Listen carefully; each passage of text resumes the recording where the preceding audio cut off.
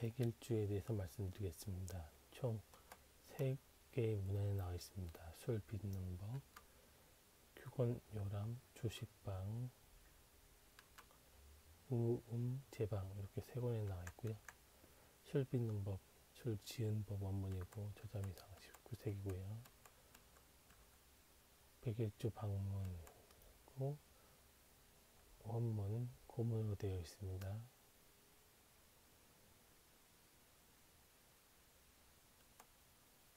번역문입니다. 정월 초의 일에 여섯 말 하려면 해가지고 설명이 자세히 나와 있습니다.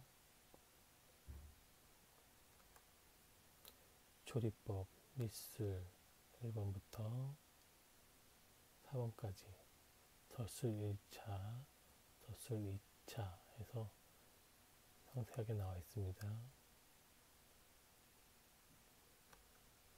그릇, 주걱, 항아리가 필요합니다. 규곤요람 주식방 저자미상 1795년 이후고요. 백일주법 고문으로 원문입니다. 번역문입니다.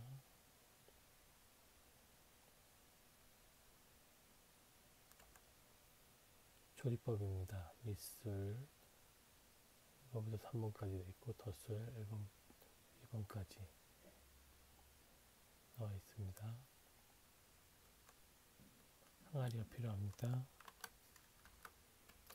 우음 제방 위상이고요. 1800년대 후기 백일주 원문입니다. 고문 내용이고요. 번역문입니다.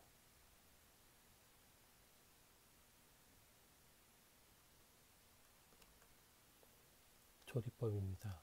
밑술, 덧술 1차, 덧술 2차 해가지고 상세하게 기술이 되어 있습니다. 가운데를 헤쳐야 맑은 술이 나온다.